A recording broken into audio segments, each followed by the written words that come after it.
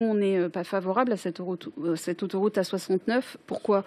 Euh, bah, Déjà parce qu'il y a une alternative qui existe, hein, une, nationale à côté qui peut être aménagée. Ça va nécessiter moins d'artificialisation. Ça va être beaucoup moins cher aussi que de construire une autoroute qui, par ailleurs, elle sera payante. 17 euros l'aller-retour hein, sur cette autoroute. Pour des ménages fragiles, tous les jours, c'est une somme.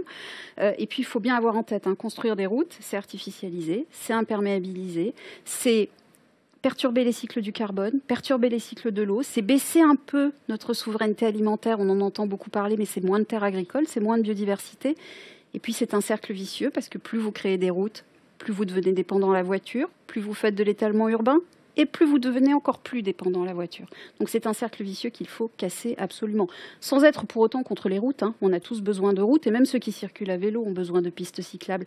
Mais nous, on plaide pour examiner les alternatives qui existent et se dire s'il y a des plans B à côté, il faut vraiment les regarder avec attention. Dans le cas de l'autoroute A69, c'est le cas. je pense qu'il faut pouvoir dire aussi que parfois le vrai courage politique, ça consiste à renoncer. à certains projets du passé. Ce qui a été fait très largement. Hein. Notre-Dame-des-Landes a été, on a renoncé à Notre-Dame-des-Landes, par exemple. C'était hein. une sorte de courage politique, sauf que c'est toujours présenté comme une sorte de renoncement.